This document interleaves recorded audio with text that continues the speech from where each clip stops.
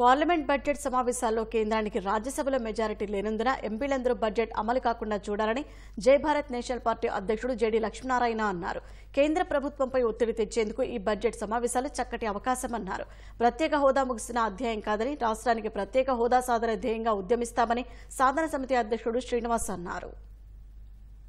ఈ ప్రత్యేక హోదా అన్నది ముగిసిన అధ్యాయమని చాలా మంది ప్రచారం చేస్తున్నారు. కానీ ఇది ముగింపబడిన అధ్యాయమని మేము చెప్తున్నాం. అందరం కనుక మళ్ళా ఉద్యమించగలిగితే ఈ ప్రత్యేక హోదాను తీసుకురావచ్చు. అంటే కేంద్ర ప్రభుత్వం ఏం చెప్తుందంటే పద్నాలుగవ ఫైనాన్స్ కమిషన్ ఏ రాష్ట్రానికి కూడా ప్రత్యేక హోదా ఇవ్వద్దని చెప్పింది అని వాళ్ళు చెబుతున్నారు. కానీ పద్నాలుగవ ఫైనాన్స్ కమిషన్ ఎక్కడా ఈ విషయాన్ని చెప్పలేదు. అది వాళ్ళు చెబుతుంటే వీళ్ళందరూ కూడా నమ్మేస్తున్నారు. మళ్ళా మనం అందరం కలిసి ఉద్యమిస్తే ఈ ప్రత్యేక హోదాను తెచ్చుకోగలం. దానివల్ల అనేక పరిశ్రమలు ఇక్కడికి వస్తాయి. ఎంపీలందరినీ కూడా మేము కోరుతున్నాం. ఈ బడ్జెట్ ఏదైతే ప్రవేశపెట్టారో ఇప్పుడు ఆ బడ్జెట్ పాస్ అవ్వాలి. పాస్ కాకుండా మీరు చూడండి రాజ్యసభలో ఎందుకంటే కేంద్ర ప్రభుత్వానికి రాజ్యసభలో మెజారిటీ లేదు. ఇది ఒక మంచి అవకాశం. కేంద్ర ప్రభుత్వం మీద ఒత్తిడి తెచ్చి రాష్ట్రానికి ప్రత్యేక హోదా తీసుకురావాలన్న సంకల్పం. ఏడవ తారీఖున ఢిల్లీలోని జంతర్ మంతర్లో కూడా మేమందరం వెళ్ళి అక్కడ ప్రదర్శనలు చేయడం జరుగుతుంది. Jai Bharat national party manifesto release చేశారు. అన్ని ప్రాంతాలు అభివృద్ధి చెందాలి అన్ని గ్రామాలు అభివృద్ధి చెందాలి అన్ని వర్గాలు అభివృద్ధి చెందాలన్న కాన్సెప్ట్తో మేనిఫెస్టోని తీసుకురావడం జరిగింది. భావితరాల భవిష్యత్తు కోసం చేస్తున్న ఉద్యమం ఇది. కేంద్ర ప్రభుత్వం దుర్మార్గంగా రాష్ట్రానికి